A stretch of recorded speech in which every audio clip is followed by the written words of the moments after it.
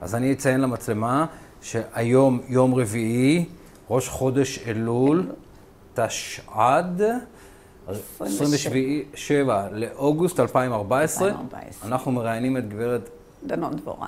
דנון דבורה, לשעבר סניור. לשעבר סניור, כן. בתל אביב, מירי יהלום ופלג לוי. זה בשביל הדורות הבאים. כן. דבורה, שאלה ראשונה, כשאת יודעת לספר על השורשים, על המשפחה שלך, כמה אחורה, איפה הכי רחוק את יודעת? אני יכולה להגיע עד לסבא, לסבא סבא של הסבא. אני יכולה להגיע. מאיזה צד? מצד הוריי. מצד אבא. אבא, אז בואו נספר. וגם מצד אימא. אז נתחיל מאחד מהם, מה שתבחר. צד אבא זה היה משפחת סניור, כן. וזה עבר מדור לדור, שאצלנו במשפחה חייבים לתת את השם אברהם, אברהם, כן. בגלל דון אברהם סניור, שאנחנו, ועד היום אנחנו מאוד מקפידים על זה, שהשם אברהם יהיה. גיסתי הייתה רומניה, ואבא שלה ניסה בשואה, ואבא שלי לא ויתר על השם הזה, כי זה בא אצלנו כמורשת. רגע, דון אברהם סניור זה... הוא היה שר האוצר בתקופת האינקוויזיציה. זה. משם זה נמשך? מצד. מצד אימא זה משפחת נחמן, שזה גם כמשפחה ידועה.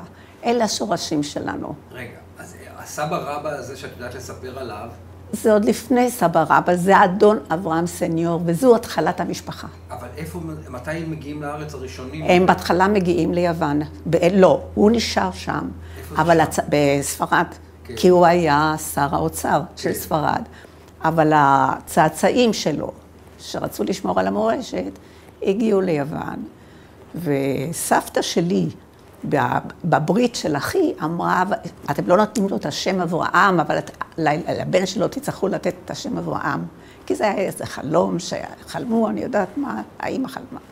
וככה זה היה. והשם אברהם עד היום יש לו אצלנו במשפחה. וזה עובר מדור לדור. אי אפשר לבטל את זה. אברהם סניור זה מהמאה ה-15? בדיוק, כן, מגלות זה- ספרד, מגלות ספרד. הנכדה שלו התחתנה בסוף עם אה, יהודי, שהוא גם כן מומר, אבל זה היה יהודי. ואחר כך, אה, אה, ההורים שלי הגיעו עם התקופה שאברהם רקנטי, ליאון רקנטי, באו כמשקיעים בארץ, זה, רגע, כקפיטליסטים. זה ההורים. של- ההורים שלי. רגע, אבל הס- הסבא, ב... ה- בוא נגיד הסבא והסבתא ניס- ניסו בשואה מצד אבא. רגע, אז בוא נספר עליהם. זה. זה השואת יהודי יוון. כן. סבא וסבתא שלי נספו בשואה. יש מה שמם, בוא נזכיר את שמם. גם. כן, אברהם סניור. אברהם סניור. זה השם של, כן, ואשתו? אה, אה, אה, דליסיה, קראו איפה לה, הם גרו ביוון? בסלוניקי. ובמה הם עסקו? אני לא, לא יודעת בדיוק. רוח, לא יודעת. בדיוק במה הם עסקו, אני, אני לא זוכרת מהם הרבה. אוקיי, אז זה הסבא והסבתא. עכשיו, הם ההורים של... אבא שלי, של אבא שלך. ושמו של אביך? דוד. אז בוא נדבר עכשיו על דוד סניור, על תולדות חייו. דוד סניור, כשעלה לאונייה איפה הוא נולד? בסלוניקי, אבל ספרי, מה, מה, בין כמה... אבא נולד בסל... בסלוניקי, שם הוא התחתן עם אמא שלי שהייתה ממשפחת נחמן. זה היו שתי משפחות אה, עמידות, כן. מצבם היה בסדר. ודודי, כן, כן. הוא היה שם מאוד מאוד עשיר. ויום אחד הגיע אליו יווני ואמר לו, אדון נחמן, אם לא תתקפל, תדע, אתה מועמד לחיסול. ואז הוא היה בעל כסף.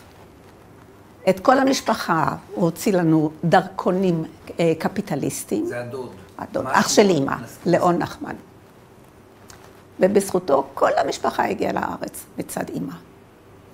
כל המשפחה. כל משפחת נחמן הגיעה. כל משפחת נחמן על איזה הגיעה. תקופה אנחנו מדברים? אני מדברת על שנות, שנות ה-30, 32, 33, יחד עם אה, רקנטי, ליאון רקנטי, אברהם רקנטי, ואז דודי בנה מספר בתים בתל אביב. ומי גר בבתים האלה? הבולשת הבריטית. אנחנו גרנו ברחוב עלייה מספר 68, הבולשת הבריטית, המשטרה הייתה במספר 70, לפני זה היא הייתה ממול. בית המשטרה הישן יותר היה ממול, כן. אחר כך נבנה, אה, כשדודי בנה, אז כל המשטרה עברה לכאן, וכל הבולשת הבריטית היו גרים בקומות העליונות. כן. וזה היה הבסיס של משטרת ישראל. היו כאלה ששירתו בצבא, במשטרה הבריטית, ואחר כך, אה, כשפרצה מלחמת, השחרור, הם עברו ישר למשטרת ישראל. ממול היו, אה, זאת אומרת, היו יורים לכיוון תל אביב. כל הרחוב הזה היה חצוי לשתיים, רק שתבין. גדר תיל, משעה חמש בערב עד חמש בבוקר, היה לכל רחוב עלייה. רחוב סלמה זה היה גבול, זה היה מגרש התמרים. איפה שאתה רואה היום בנק דיסקונט, זה היה מגרש התמרים. הכל היה, ומה היה בבוקר? היית רואה את הרועים הערביים עם המרעה צאן שהיו נודדים שם. כן. אז רגע, תחזירי אותנו עוד קצת, תספרי לנו על, על שנות ה-30 לפני שאת מגיעה לעולם. אוקיי, על, ה- אז אני מספרת לך. אבא שלי כשעלה לאונייה, ראשית כל הוא היה ציוני בצורה לא רגילה. הדגל הגדול ביותר, אם תעבור היום ברחוב עלייה 68, או תראה את המתקן של הדגל. הוא עשה מתקן מיוחד, זה היה הדגל הכי גדול. הוא כשעלה לאונייה, הוא אמר, הוא לא סובב את הראש אחורה, למרות שההורים שלו היו שם. והייתה לו המון הזדמנויות, ש- שאלה שניצלו מהשואה, בואו לבקר פעם. את מי אני אראה? אני לא אראה אף אחד. לא חשוב. אני לא אראה אף אחד. לא משנה. שנייה. או, רגע. זהו.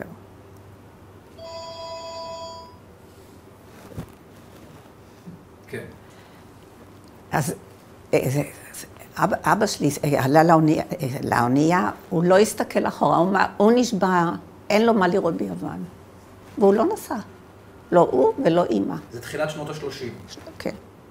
אחר כך זה היה שואה, אז הוא איבד את הקשר עם אחותו, עם המשפחה שלה, כולם נהרגו. אבל מצד אימא, כולם נשארו. מה הוא מתפרנס בארץ? מה- היה לנו- הבנייה של הבתים זה הדוד. הדוד, הדוד. והוא איתו, ואבא עובד במה? אבא שלי, היה, הוא היה אה, יצרן של סכינים. של סכינים. אז בתקופת הבריטים, זה היה עסק שלא היה יבוא אז. אז כן. היו מייצרים כאן אה, איך קראו למפעל הזה? אחדות. כן, אחדות היה. בית מלאכה בתל בית אביב. מלאכה בתל אביב, על יד בית רומנו, קרוב לבית רומנו, ו... הם היו בקהילה. ושני האחים, ושני האחים של אימא גם עבדו אצלו. אחר כך זה כבר הפך לשותפות כזו, כן. והם עבדו אצלו. במאורעות 36, אבא שלי נפצע קשה. בראש, וזה מה שאני זוכרת, מה הנקודה הזו אני זוכרת? שאני באה לבית חולים, אימא לוקחת אותי ואת אחי ביד, ואנחנו באים לבית חולים הדסה. אז זה היה ממש, אה, חידשו אותו רק אז, רק בנו אותו, לא... ואנחנו לא מצליחים להיכנס, משטר, עניינים. בסוף נכנסנו ואני רואה את אבא, כולו חבוש בראש, שכב די הרבה זמן, זעזוע מוח ותפר, זה היה מאורעות 36. אז רגע, נגיד, תרשמי לי דקה שמונה, כן. אה, בעצם זה הזמן הולך בסדר. מאורעות 30, אחר כך היה לו משפט. מה? מתי את נולדת? אני ב-32. 32. רגע, אז נ- כן. כן. אה, ואז אה, היה לו משפט. וכל הבתים של דודי, שישבו שם הבריטים, אז אדון נחמן, אתה תיתן לה- לגיס שלך לעשות דבר כזה. אז לא נתנו לו משפט, נתנו לו התנהגות טובה, שהיה צריך להתייצב מדי פעם במשטרה, שהכל בסדר. כן. זה הקשרים. היה לה ככה, היה רחוב עלייה פינת סלע מהמשטרה, היה נחלת בנימין 140, כל הבולשת הבריטית הייתה גרה שם. סבתי וסבא היו גרים בקומה הראשונה, ודודי היה גר בקומה כל זה השנייה. בשכירות? הוא נתן, זה היה בשכירות או... ב... לא, חודשי. מה זאת אומרת? כן. חודשי, אחר כך התחיל ליד דמי מפתח. לא, אז לא, זאת אומרת, נחמן מזכיר ל... לצבא, למשטרה הבריטית, אחר כך זה הפך למשטרת ישראל. כן. אחר כך משטרת ישראל התערבה שהוא ימכור את כל הדירות האלה לשוטרים, אלה שגרו שם עם המשפחות, כן. ואז נמכרו הדירות באלף לירות מנדטוריות כל דירה, רק שתבין. ויש עד היום עוד כמה דירות שזה היה הדירה של הסבתא עוד שלהם, החנויות למטה עוד שלהם.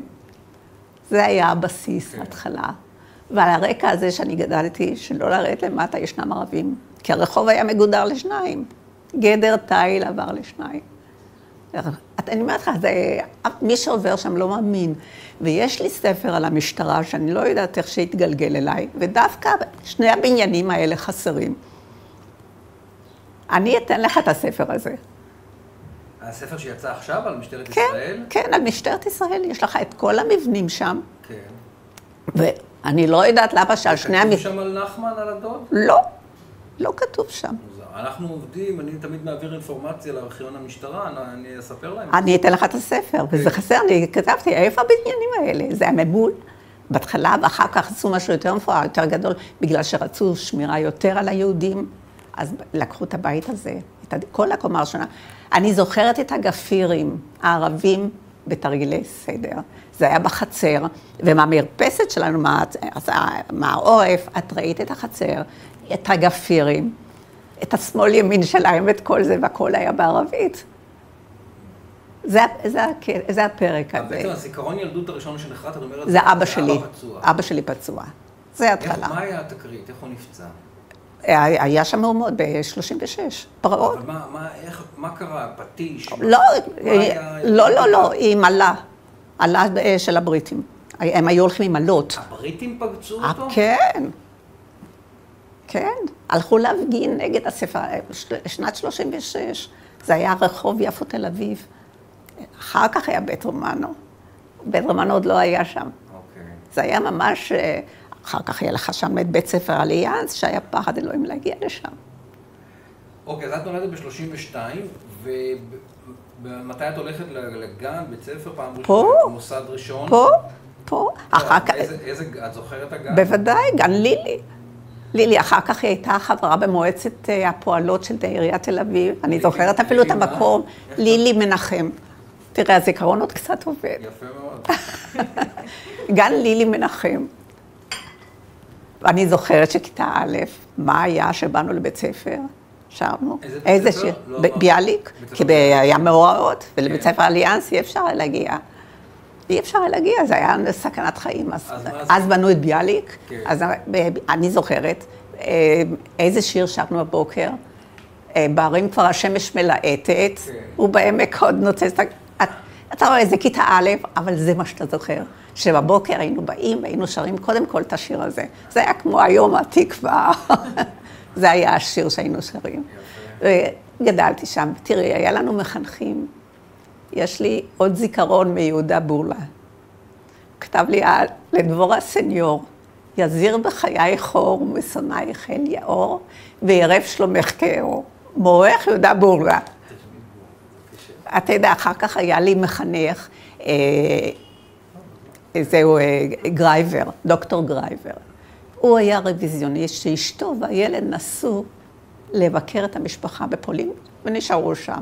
הוא אחרי זה לא התחת... לא יודעת מה שקרה לך.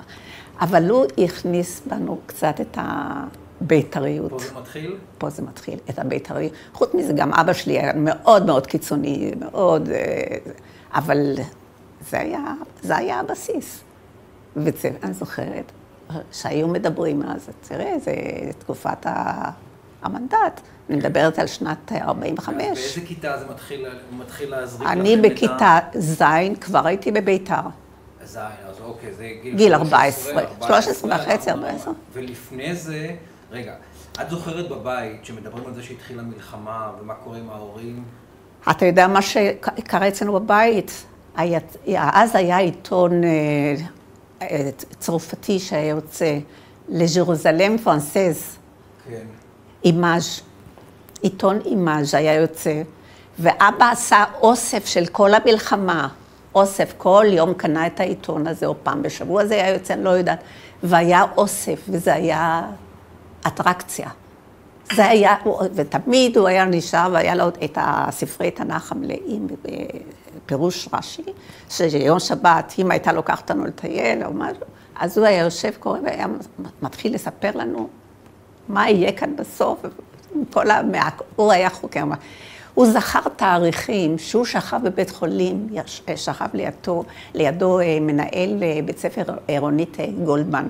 הוא נתן לו תאריכים היסטוריים שההוא השתגע. זה הגיע לידי מצב כזה שהוא נתן לו כרטיס שיבוא לבקר אצלו בבית.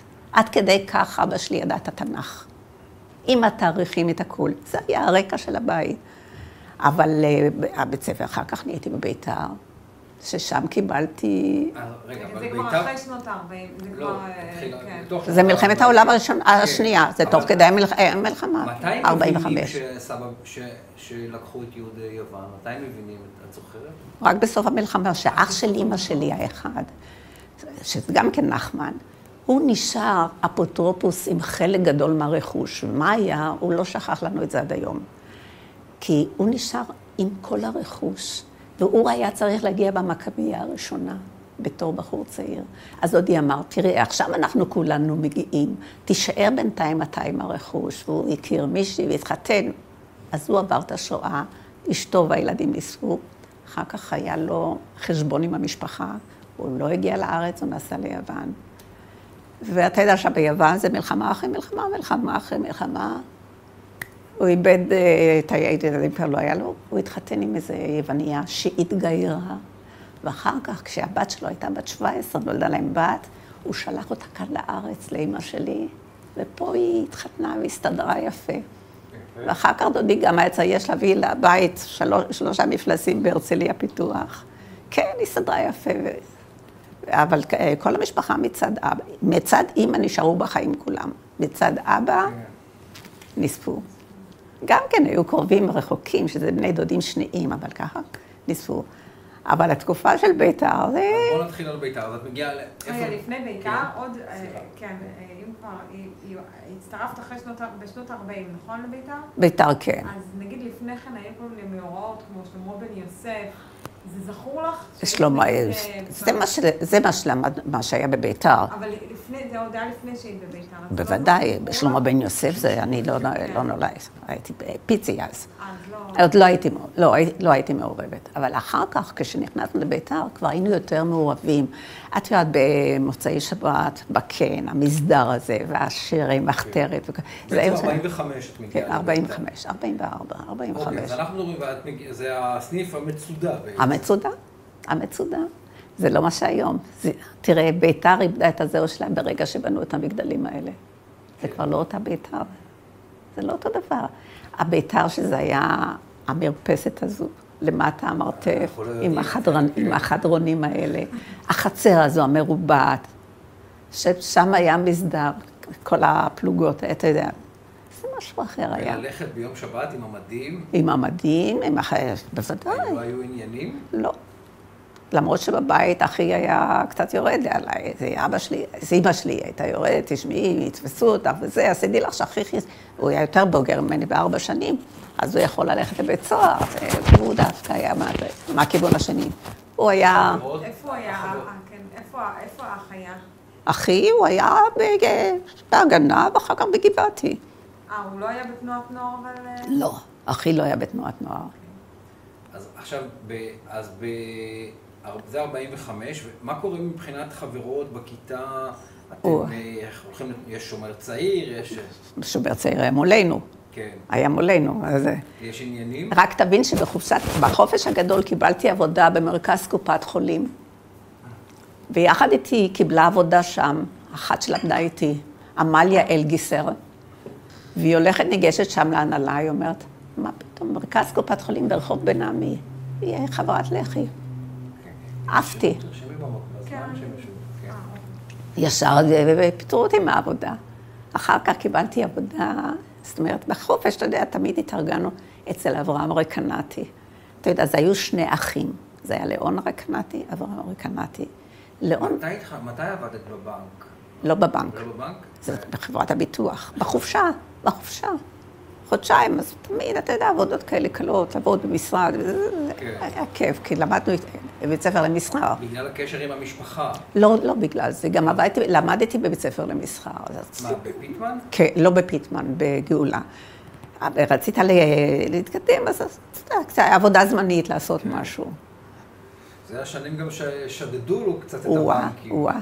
אז זה אברהם הרקנטי, הוא היה ציוני.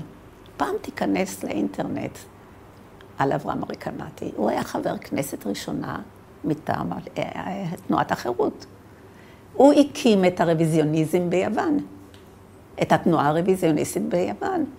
הוא הביא, בזכותו הגיעו איזה 125 אלף בחורים צעירים. שהוא נתן להם כל מיני רעיונות. אדם מקסים. הבן שלו היה מפקד הפעולה ביפו. כיבוש יפו, דוד רקנטי. הוא גם הוציא כמה ספרים על, ה, על החומר הזה. תיכנס, זה מאוד יעניין אותך. על אברהם רקנטי. כן.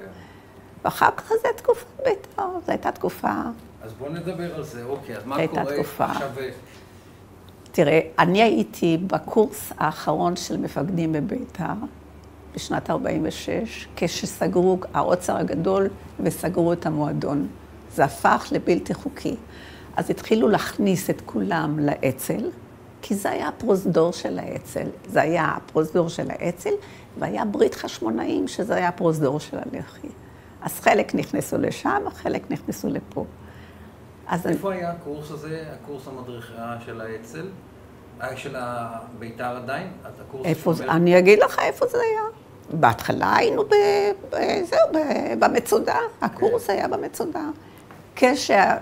כשהפכנו לבלתי חוקיים, אז הקורס הופסק, וכולם גויסו, חלק לאצ"ל וחלק קראו ללח"י. יהודית כהן, מילדי רעננה, היא ישר עברה ללח"י, ואני אחריה. אתה יודע מי זה יהודית כהן. מגורי כהן. היינו חברות, יש לי כאן תמונה שלה. היינו חברות, זו תמונה של שלושה ארבעה ימים לפני שנהרגה. איפה יש לך פה? כן. רגע. אני הכנתי את...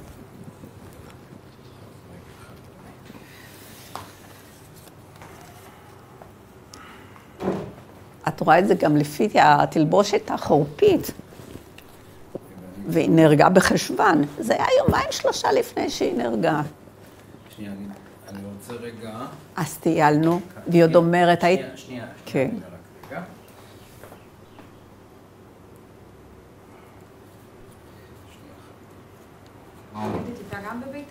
בטח, היינו באותה קבוצה. שנייה.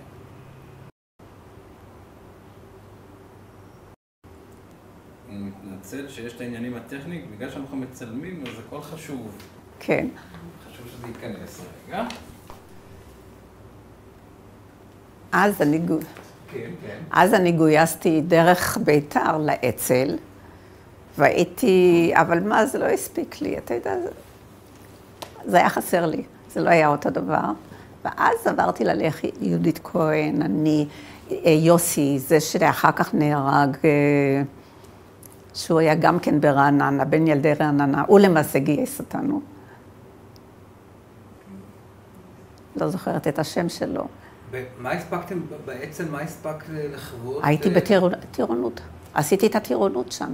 אקדח, לימודי אקדח ורימון וכל הדברים האלה. וה- טוב, היינו יוצאים גם למסעות, אש, כל הדברים האלה עברתי שם. אז כמה זמן את מספיקה להיות באצ"ל? חצי שנה. אז אנחנו מדברים על התקופה של... אה, 46. 46. 47 כבר הייתי בלח"י.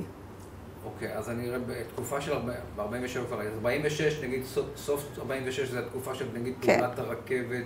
בדיוק. תחנת הרכבת בירושלים. כן, כל הפעולות האלה. דוד. נכון. אז היינו ילדים אז. כן. ואז עברתי ללח"י. ופעולות של כרוזים השתתפת? בטח, גם באצ"ל, בלח"י מעט מאוד. אז ספרי קודם על על האצ"ל. באצ"ל, פעם כמעט נתפסתי, זה היה ברחוב דיזינגוף, היה לנו...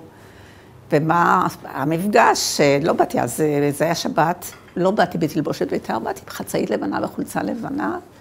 קיבלנו את האזור, ופתאום שריקה, כל ישראל, כל אה, ברמה נשמע, זו הייתה השריקה. זרקנו, כמעט נת- נתפסנו. יחד איתי נתפסה עוד אחת, שהיא היא מרחה ואני מרחתי את, ה, את הקרוז. היא הייתה מורחת את הדבק ואני את הקרוז. והמדריכה אומרת, איזה מזל שאת לא נתפסת. מה הייתי עושה עם האימא שלך המטוררת? כזו דאגנית הייתה. ואחר כך עברתי ללח"י, בלח"י הייתי גם כן בקורס. רגע. זה קרוזים של לח"י עכשיו? אחר כך הייתי בלח"י, אבל של של אצ"ל זה היה, שכמעט ונתפסתי. ובלח"י, אז לא הדבקתי הרבה זמן קורסים, די, די מעט זמן. ואחר כך אה, נסעתי ל... אני חושבת שזה היה קריית מאיר, על יד בני ברק, והיינו בקורס נשק שם. שוב פעם קורס נשק. וזה היה לפני הגיוס לצבא. התקופה הזו של כמה חודשים לפני הגיוס לצבא. רק שנייה אחת, אני לא שומע. כן, אוקיי.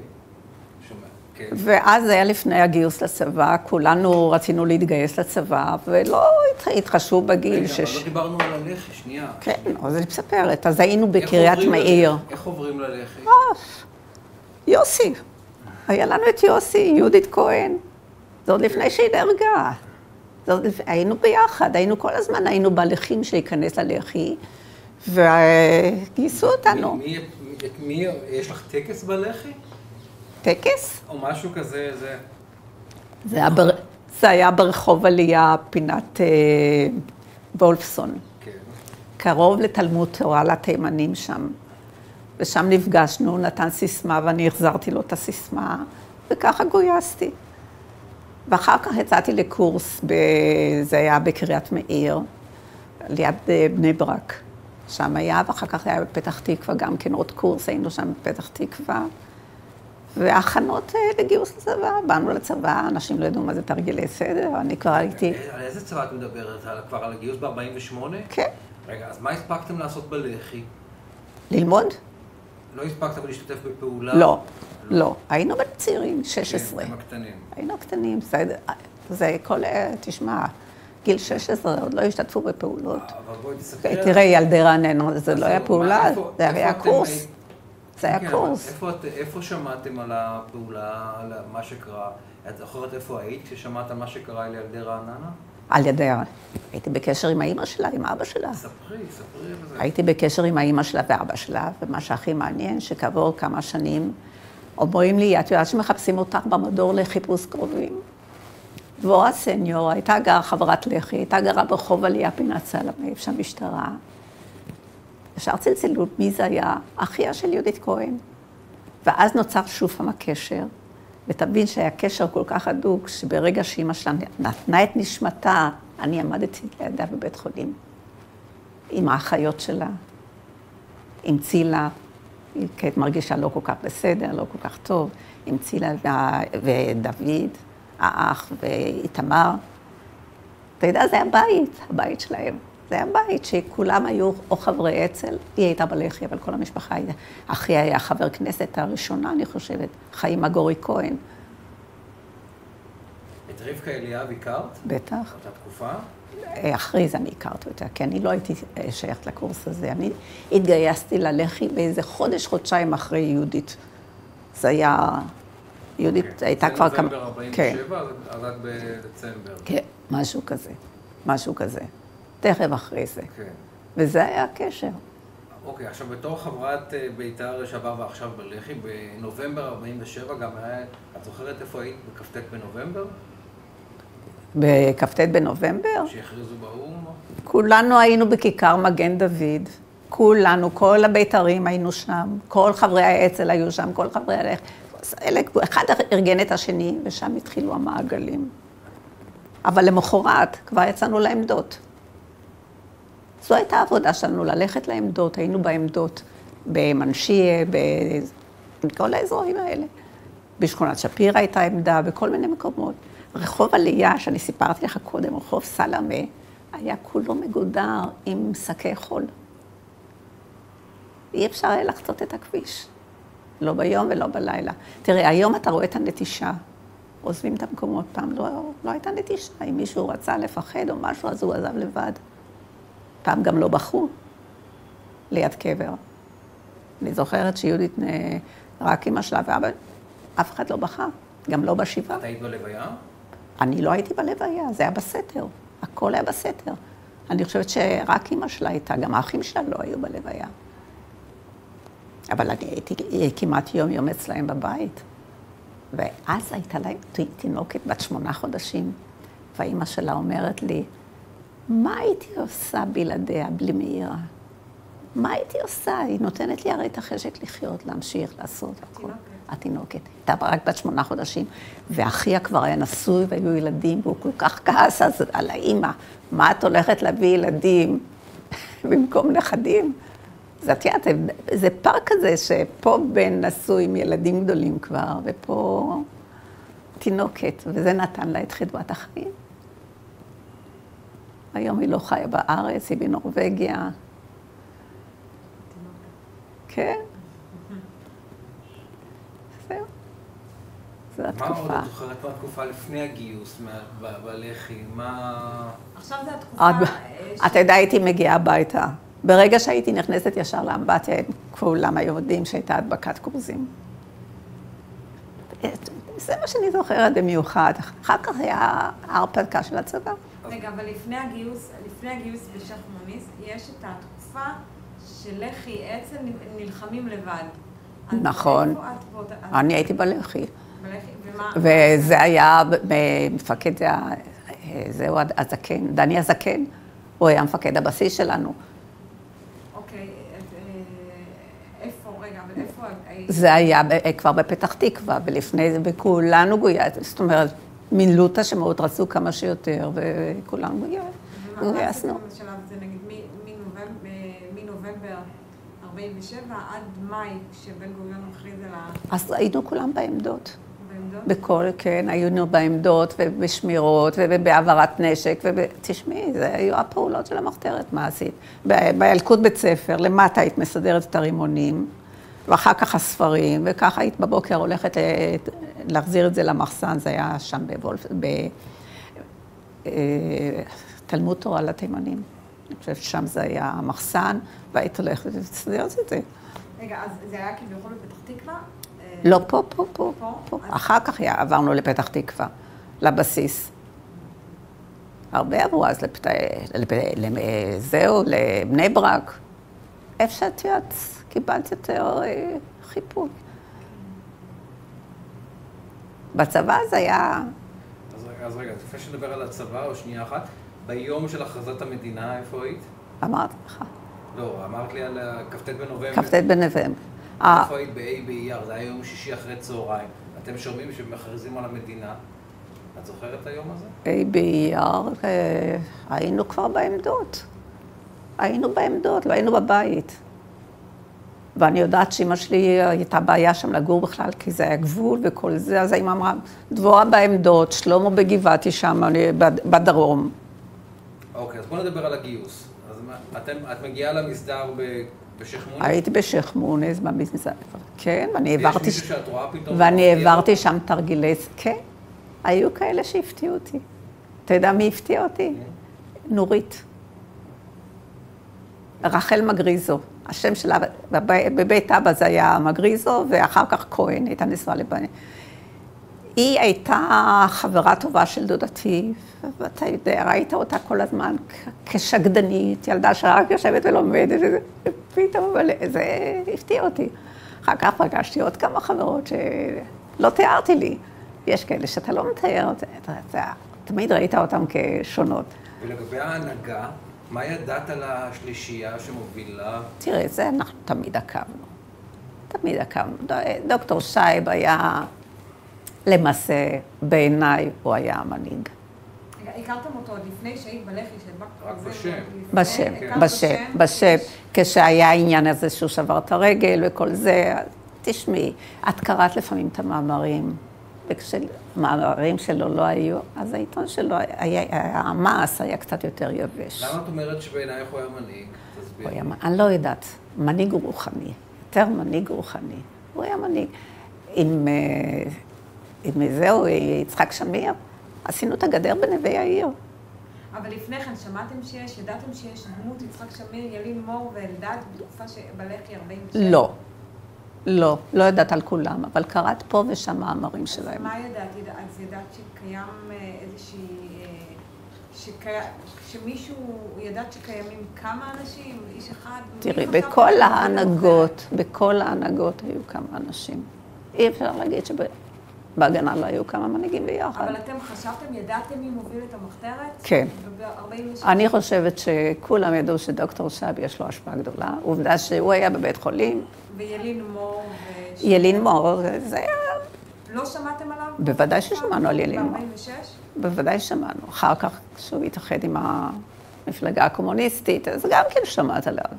לא, אבל אני מתכוונת אם עוד בתקופה של המחתרת, עוד שהייתם בתאים של הלחם. לא שמעת הרבה. אז ידעת שיש מנהיגים. ידעת שיש מנהיגים. את יודעת מה, על שמואלביץ' שמעו יותר. אני לא ידעת שילין מור הוא לא. חבר מרכז לא, לח"י. לא. על שמואלביץ' שמעת יותר. כן.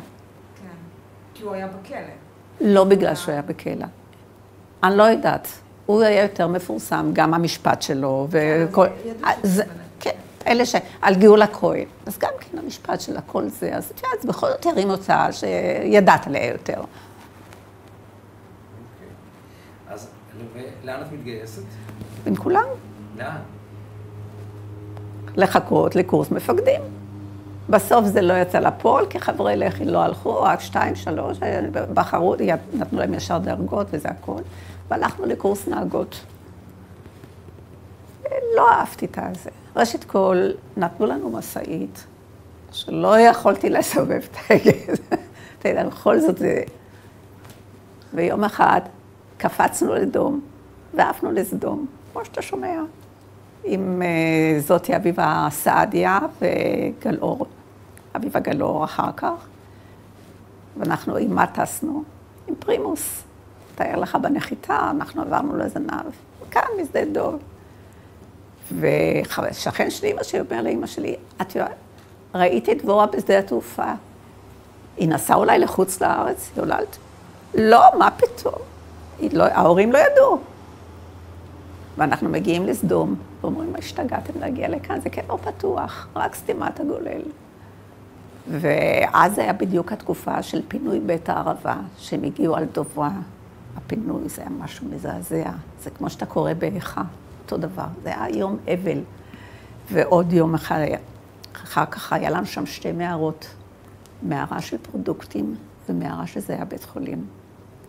ושהתקיפו אותנו בספיה, ממול, היה כפר ערבי ירוק, אצלנו היה הכל צהוב, יבש. היו לנו בקתות כאלה שהפועלים היו פעם גרים שם, עם חלונות עד גובה המיטה, ונודות אור תלויים בחלון, ומזה היינו שותים את המים. רק תאר לך, ומה הייתה העבודה שלנו? לטפס על ההר, לאותת למטוס כשהוא מגיע, אם הוא יכול לרדת, לא יכול לרדת. הייתה לנו קונסוליה, תבין, זה חוץ לארץ, בבית רומנו. ואימא שלי הייתה הולכת כל יומיים, כל שלושה ימים להביא איזו חבילה קטנה של אה, ממתקים, שיהיה לי, הבת, שלה- הבת שלה יכולה להתייבש שם, אני יודעת. זה היה, זו הייתה תקופה. אחר כך כשחזרתי, זה כבר היה רצח ברנדות. אז כל אלה שלא מלאו ואלה שעזבו את הצבא בקיצור. ואז התחלתי לעבוד בלח"י, זאת אומרת, לבחירות, להוציא את הלח"י, זאת אומרת, להכניס את לח"י כמפלגה. ועבדתי עם פנחס גינוסר, ועם, אה, זהו, אה, אלי, אה, כל אלה שהראיתי לך בתמונה, יוסי, אתה מכיר את יוסי? לא ראיינתי את יוסי? יוסי לא יכול להיות. יוסיפוף אה, ולאה. ואנחנו מאותה תקופה ביחד. הוא היה מתנדב. מה? ירושלמי, הוא... אה, לא, גר כאן תכף. אפשר לראיין אותו? אני חושבת שכדאי לראיין אותו. לא, מבחינה... הוא, אני, אני לא יודעת. היא, אני יודעת שלא. היא איזה לאה... לאה יוסיפוף. אשתו? כן, זה זהו. כן. הוא היה מתנדב קבוע.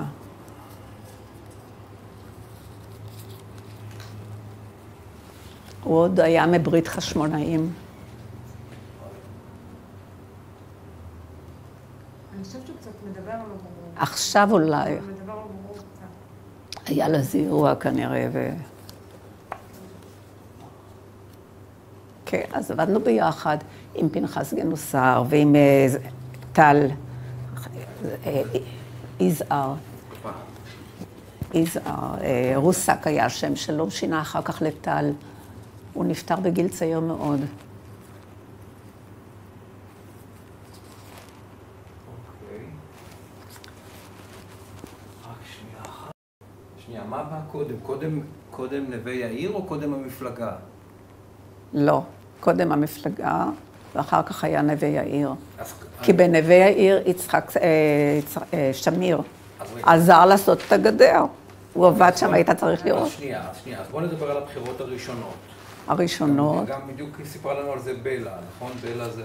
לא, מי סיפרה לנו... אה, על הבחירות? על הבחירות רחל או אה, אה, חיה או מי עכשיו... חיה. חיה. חיה עבדה שם, כן. חיה. אז אתם... יש בחירות. אז אנחנו קיבלנו את אזור השרון, יחד עם יוסי. פנחס גנוסר היה אחראי עלינו. כן. וקיבלנו את כל האזור הזה, והקמנו שם איזה תאים. הייתה שם אה, שתי אחיות, חיה ותקווה, ועוד כמה ילדים כאלה, והיינו מביאים שם חומר, והיינו מדביקים. מה זה אזור השרון?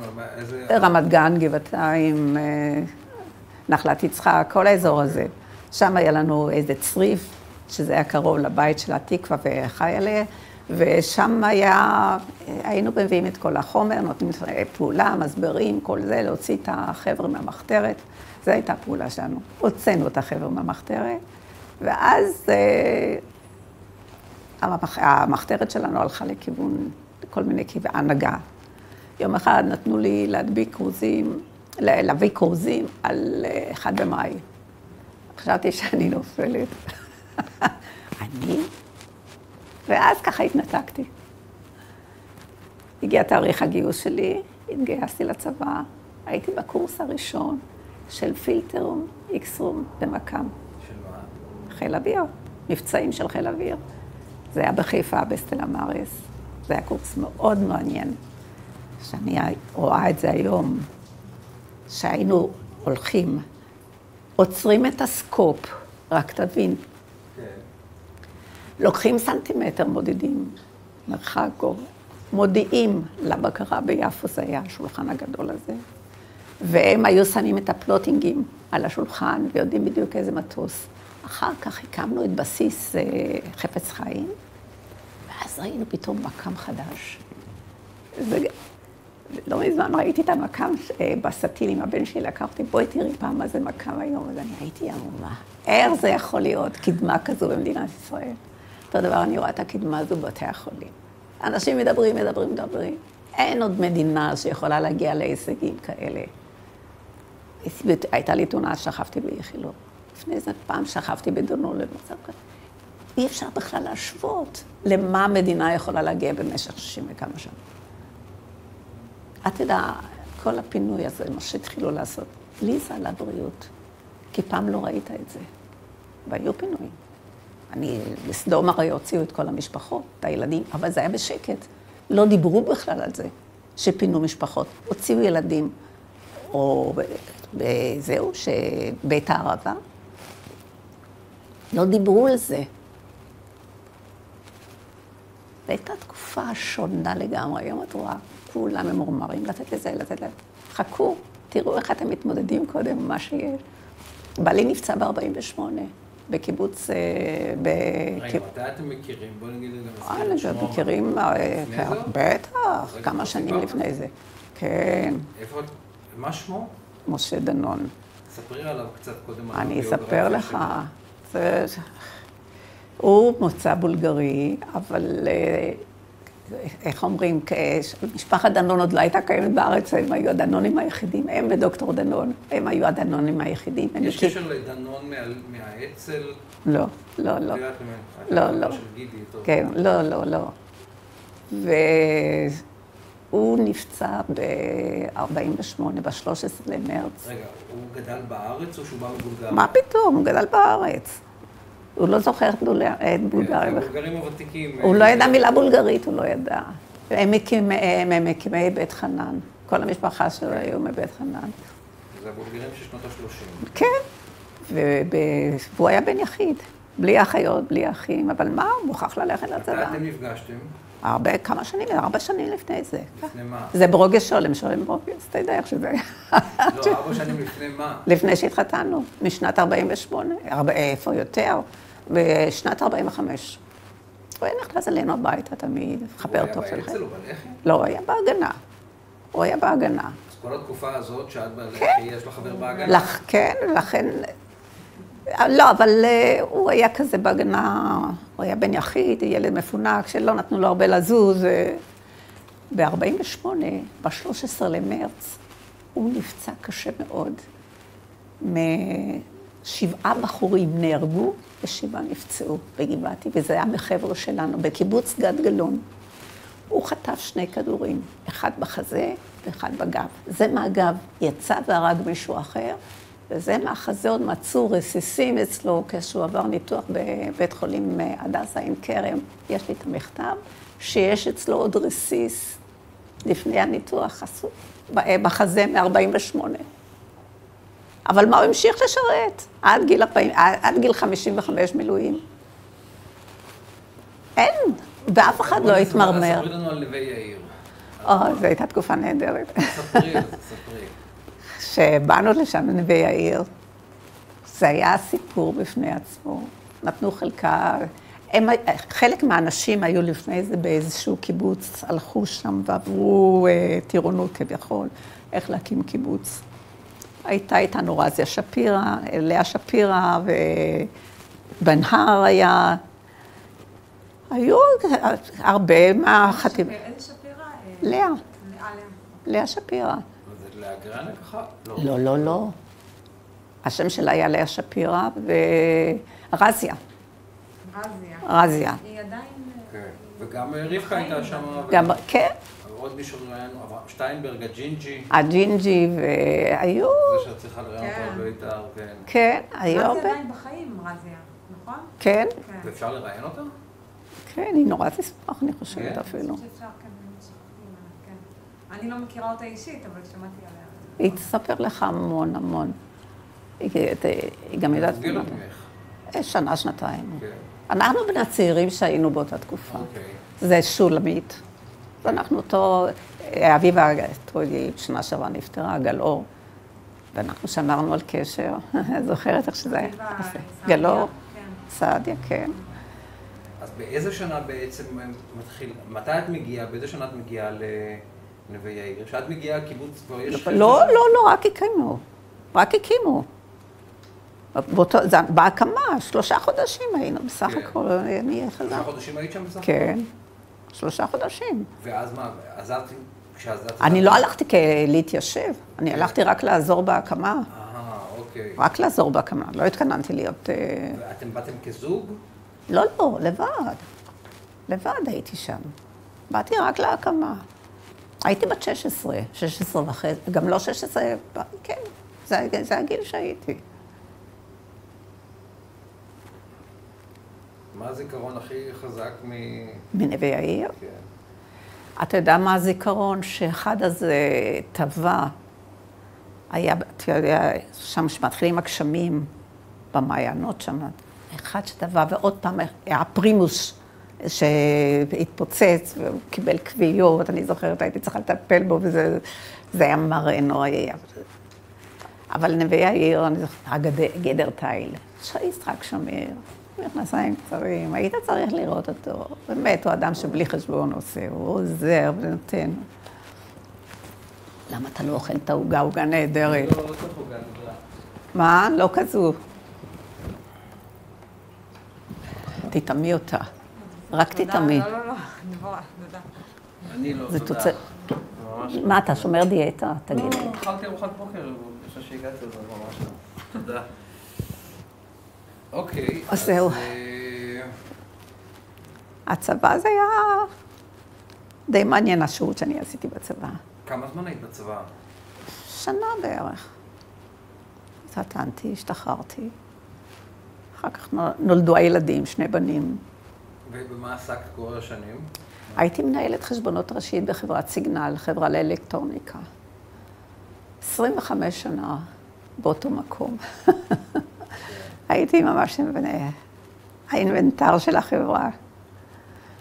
היו מלחמות פה, היה יוצא, משאיר לי צ'קים בלנקו, לא הייתה לו בעיה. אתה לא איש חיל אוויר. הוא היה איש חיל אוויר, אז כל שני וחמישי הוא היה מגויס להקים בסיסים וחדשים. אדם נורא נחמד, קיבוצניק. אשתו, זה סיפור חיים, אשתו. במלחמת העולם השנייה, אבא שלה, לקחו אותו למחנות, באו לקחת את האימא, עשתה חבילה, זרקה אותה מהחלון. מישהי אספה אותה והתחילה לגדל אותה. הגיעה הבריגדה, התחילו לחפש ילדים יהודים. הילדה הזו יהודייה, הוא לקח אותה, הביא אותה לארץ, אז מה הוא חשב? שיביא אותה לאימא שלו, אימא שלו הייתה מורה לפסנתר, היה לה באלנבי דירה. הסוכנות עלתה על זה, מה זה את מביאה? אין דבר כזה. ולקחו אותה לנווה איתן, לקיבוץ נווה איתן. ושם התחילה לגדול, ואין לה משפחה, אין לה כלום. המשפחה התחילה לחזור, אלה שברחו לאמריקה הדרומית, בלגיה. האימא שלה חזרה, עברה את כל הבעיות, את כל המלחמה, היא צריכה לחזור מאושוויץ. התחילה לחפש הילדה. הדוד שלה נתן מודעה בעיתון שצריך מטפלת. המטפלת באה, אומרת, אני ילדה כזו גידלתי. אז עלו על זה שהיא נמצאת בארץ. האימא שלה עלתה על האונייה אקסודוס, והיא באה לארץ לחפש אותה. באה לנווה איתן, חום, אימין, חטפה שם מכת שמש, אני יודעת מה, והיא נפטרה. והיא כל כך התכוננת, היא אומרת, אימא שלי הייתה צריכה להגיע, אני פרמתי את השיער, הורדתי את כל הכינים, היא אומרת, מהראש, כדי שאני אמצא חן בעיני אימא שלי. היא ילדה שבת שש, לא הכירה את אימא שלה. ואחרי כמה חודשים האימא נפטרה, את יודעת, זה היה נורא. זה סיפור חיים, סיפור חיים. ואז הכירה את איתמר בקיבוץ, והדודים שלה באו, עזרו להם להשתקם כאן, נתנו כסף, את הולכת למקווה, עושים לה חתונה, קנו לה דירה, הדוד, האחים של אבא. סיפור חיים, אני אומרת. אלה הסיפורים. טוב, אני רוצה לצלם רק את התמונות, כן. להעתיק כן. אותן. אוקיי. שנייה, אני אעשה סטיל שנייה אחת.